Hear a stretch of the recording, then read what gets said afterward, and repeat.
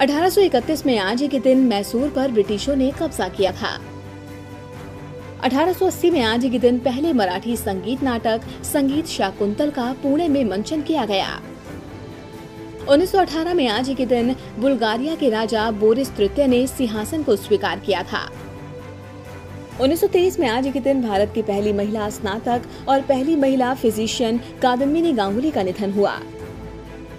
1932 में आज के दिन इराक यूनाइटेड किंगडम से स्वतंत्र हुआ था।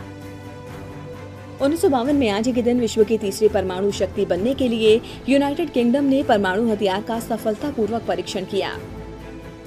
1977 में आज के दिन पूर्व प्रधानमंत्री इंदिरा गांधी को भ्रष्टाचार के आरोप में गिरफ़्तार किया गया। 1978 में आज के दिन कलकत्ता में पहले और दुनिया के दूसरे टेस्ट ट्यूब बेबी का जन्म हुआ। उन्नीस सौ चौरासी में आज के दिन भारत की सबसे लंबी दूरी की ट्रेन हिमसागर एक्सप्रेस कन्याकुमारी से जम्मू तवी के लिए रवाना की गई। उन्नीस सौ बानवे में आज के दिन गीत सेठी ने विश्व पेशेवर बिलियर्ड्स चैंपियनशिप जीती। उन्नीस सौ छियानवे में आज के दिन पाकिस्तान के 16 वर्षीय बल्लेबाज शाहिद अफरीदी ने एक दिवसीय अंतर्राष्ट्रीय मैच में सैंतीस गेंदों में शतक बनाकर विश्व कीर्तिमान रचा।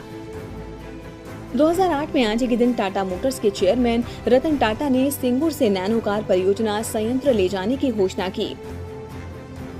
साल 2008 में आज के दिन अमेरिकी वित्तीय प्रणाली के लिए 2008 के आपातकालीन आर्थिक स्थितिकरण अधिनियम पर राष्ट्रपति जॉर्ज डब्ल्यू बुश ने हस्ताक्षर किए थे।